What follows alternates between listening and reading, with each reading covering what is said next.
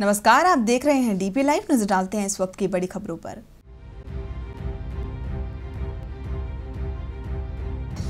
Ticket बंटवारे को लेकर समाजवादी पार्टी में घमासान। चाचा शिवपाल के 175 उम्मीदवारों को दरकिनार कर भतीजे अखिलेश ने नेताजी को सौंपी 403 उम्मीदवारों की लिस्ट। भड़के शिवपाल यादव ने ट्वीट कर कहा, बर्दाश्त नहीं की जाएगी अनुशासनहीनता।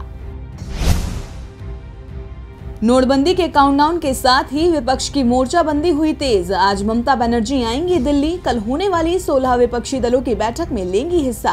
कांग्रेस भी मोर्चे में होगी शामिल।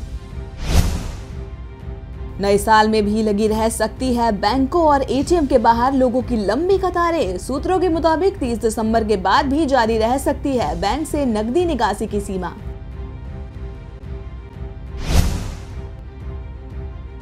कर्नाटक के चिंतामणि इलाके में भीषण आग। सिलेंडर के गोदाम में धमाका, आग से 900 सिलेंडर और चार गाड़ियाँ जलकर खाक, दमकल की गाड़ियाँ मौके पर मौजूद। केरल के सबरीवाला मंदिर में मची भगदड़ 25 लोगों के घायल होने की खबर, दो की हालत नाजुक। रस्सी से बना बैरिकेड टूटने से हुआ हादसा। उत्तर भारत में सर्दी और कोहरे का कहर जारी। कोहरे के चलते कई ट्रेनें चल रही हैं। देरी से हवाई सेवाओं पर भी बुरा असर। और पाकिस्तानी क्रिकेटर शाहिद अफरीदी ने संन्यास के अटकलों को किया खारिज। टी ट्वेंटी फॉर्मेट में अभी भी खेलते रहना चाहते हैं अफरीदी। टेस्ट और एक दिवसीय मैचों से पहले ही ले चुके हैं संन्यास।